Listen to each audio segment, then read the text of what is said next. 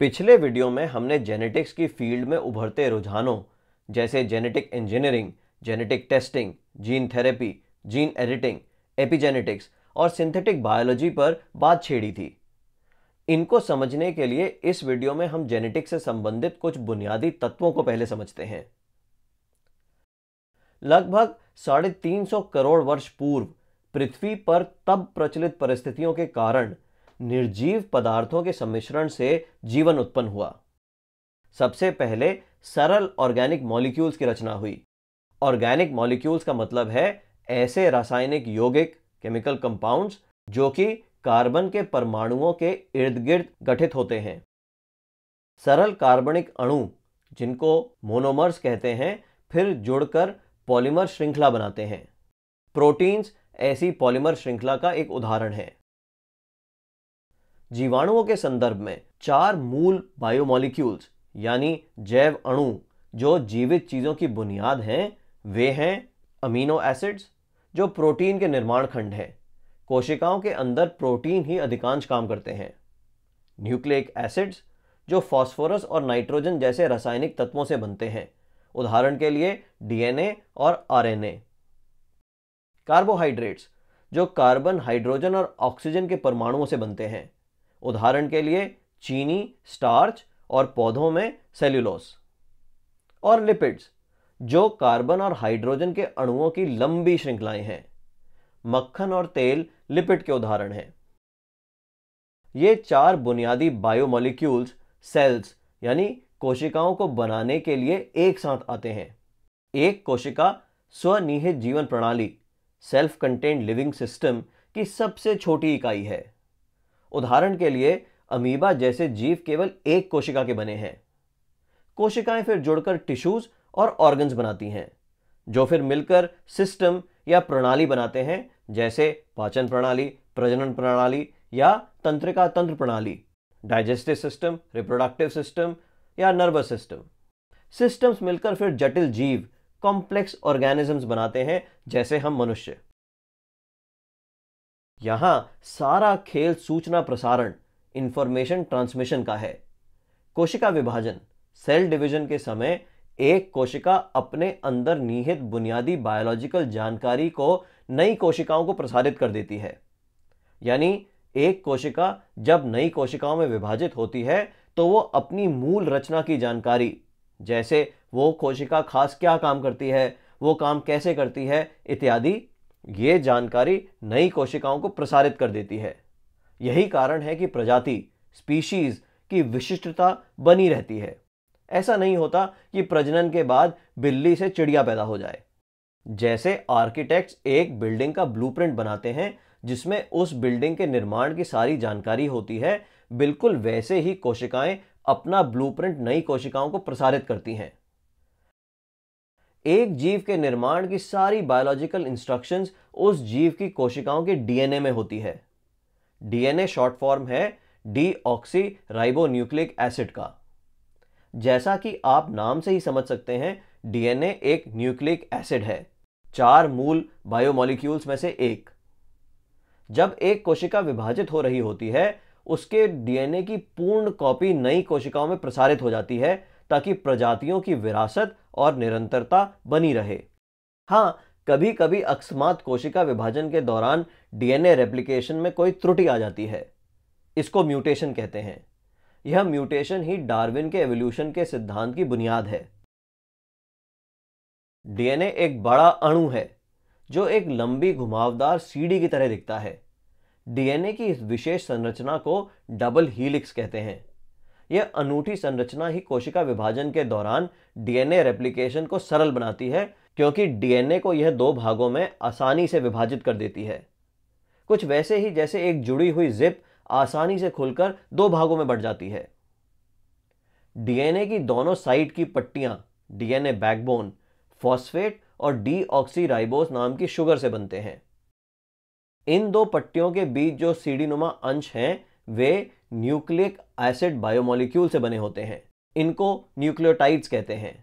DNA के चार nucleotides हैं, एडेनिन, थाइमीन, साइटोसिन और ग्वानिन, जिनको सरल रूप में एटीसीजी कहते हैं। कहने का मतलब है कि हम मानवों की मूल संरचना जो है, वो रासायनिक तत्वों पर ही आधारित है। अगर एक ह्यूमन सेल के अंदर के डीएनए को लंबा करके बिछाया जाए तो ये छह फुट लंबी रस्सी की तरह होगा और इसमें छह हज़ार करोड़ रासायनिक अक्षर, जैसे ए टी सी जी होंगे। डीएनए में ये चार मुख्य अक्षर अलग अलग क्रम से होते हैं, जैसे सी ए ए सी A T C ji ji A A ji G T A जी सी सी इत्यादि। और इनका भिन्न क्रम ही जेनेटिक कोड बनाता है। डीएनए के एक खंड का कोड निर्धारित करता है कि वो खंड क्या काम करेगा, जैसे वो कोड किसी प्रोटीन के निर्माण का निर्देश हो सकता है। डीएनए के ऐसे विशिष्ट सेगमेंट को जीन कहते हैं। कुछ जीन्स निर्देश देती हैं एक प्रकार के प्रोटीन के निर्माण का, और यह प्रोटीन फिर उस जीव में कोई निर्धारित काम करता है, जैसे कि एंजाइम्स जो प्रोटीन का एक उदाहरण है, पाचन प्रक्रिया में मदद करता है। कुछ डीएनए के अंश जीन नियंत्रण का काम करते हैं। कौन सी जीन कब ऑन हो या ऑफ़, और कितनी देर के लिए? जीन एक्सप्रेशन इस जीन नियंत्रण पर निर्भर करता है और इसका एपिजेनेटिक्स पर बहुत प्रभाव पड़ता है, जो हम एक वीडियो में आगे चलकर देखेंगे। मानव जैसे जटिल जीवों में डीएनए कोशिका के एक विशेष क्षेत्र, न्यूक्लियस या नाभिक के अंदर पाया जाता है। इसके अलावा जटिल जीवों में बहुत कम मात्रा में डीएनए कोशिका के एक और अंश माइटोकॉन्ड्रिया में भी पाया जाता है। यह माइटोकॉन्ड्रियल डीएनए वंश परीक्षण में काम आता है, जिसको हम एक आगे वीडियो में समझेंगे। कोशिका विभाजन से पहले डीएनए के मॉलिक्यूल्स न्यूक्लियस में कसकर पैक हो जाते हैं। कसकर पैक हुए डीएनए को क्रोमोसोम्स या गुणसूत्र कहते हैं। उदाहरण के लिए, मानव कोशिका में 46 क्रोमोसोम्स हैं। चावल के पौधों में 24 और कुत्तों की कोशिकाओं में 78 क्रोमोसोम्स हैं। एक जीव की कोशिका में डीएनए के पूर्ण सेट को जीनोम कहते हैं। आपका जीनोम आपकी ऑपरेटिंग मैनुअल है, जिसमें वे सभी निर्देश शामिल हैं, जिन पर आधारित आप मात्र एक कोशिका से शुरुआत कर वो व्यक्ति बने जो आज आप हैं। आपका जीनोम आपके विकास को निर्देशित करता है। आपके ऑर्गन्स को उनका काम करने में मदद करता है और क्षतिग्रस्त होने पर खुद की मरम्मत करने के निर्देश भी उसमें शामिल हैं। जैसे आपके फिंगरप्रिंट अनोखे हैं, वैसे ही आपका जीनोम भी अनूठा है, और किसी भी मानव के जीनोम से कुछ भिन्न। आपका आधा जीनोम आपकी माँ बायोलॉजिकल मदर से आता है, और आधा आपके पिता बायोलॉजिकल फादर से।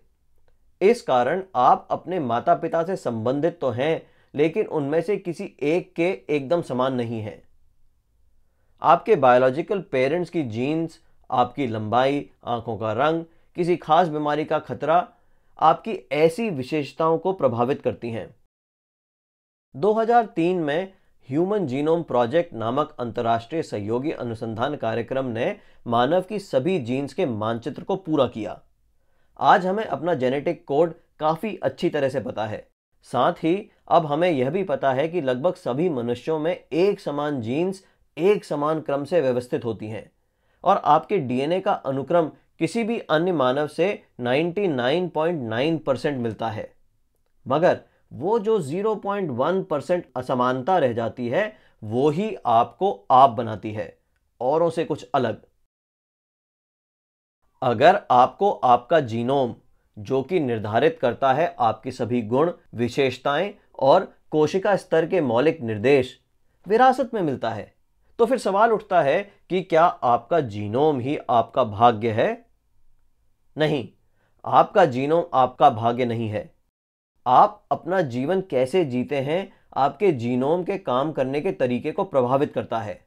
आपकी जीवन शैली लाइफस्टाइल और पर्यावरणीय कारक एनवायरमेंटल फैक्टर्स जैसे घर का वातावरण, आपके विकास और स्वास्थ्य में महत्वपूर्ण भूमिका निभाते हैं। आपके द्वारा लिए गए दिन प्रतिदिन के निर्णय और जो दीर्घकालीन विकल्प आप चुनते हैं, जैसे कि आप पौष्टिक खाना खाते हैं या नहीं, आप कितने सक्रिय हैं, एक्टिव लाइफस्टाइल, आप कितना व्यायाम करते हैं, क्या आप नियमित रूप से ठीक से सोते हैं या नहीं, क्या आप धूम्रपान करते हैं, ये सभी निर्णय और विकल्प जो आप चुनते हैं, इनका आपके स्वास्थ्य और कल्याण पर सकारात्मक या नकारात्मक असर पड़ता है। इसलिए आपका जीनोम एक शुरुआती अवस्था तो है, मगर आपका भाग्य नहीं। हमारे जीवन के बुनियादी निर्माण खंड, जैसे बायोमोलिक्यूल्स डीएनए जीन्स जीनोम ये क्या काम करते हैं और कैसे करते हैं, इसकी हमारी बढ़ती समझ ही आधार है पनप रहे जेनेटिक रेवोल्यूशन आनुवांशिक क्रांति का। जीवन के इन बिल्डिंग ब्लॉक्स के साथ खेलने की हमारी बढ़ती क्षमता, जैसे जीन्स को एडिट करना या बदल डालना, ये क्षमता ही न केवल हमें जानलेवा बीमारियों के इलाज के तरीके सुझा रही है, ये ही डिज़ाइनर बेबीज और सुपर ह्यूमंस रचने की संभावना और संभावित खतरे को भी बढ़ावा दे रही है। आनुवांशिक क्रांति एक बड़ा सवाल उठा रही है। मानव होने का मतलब क्या है? क्या केवल प्राकृतिक रूप से रचा मानव ही मानव है या कृत्रिम रूप से सुधारे गए मानव को भी हम होमोसेपियन मान लेंगे। आने वाले वीडियो में हम जेनेटिक्स के क्षेत्र में कुछ अत्याधुनिक उभरते ट्रेंड्स को समझेंगे, जो इस आनुवांशिक क्रांति के रचेता हैं।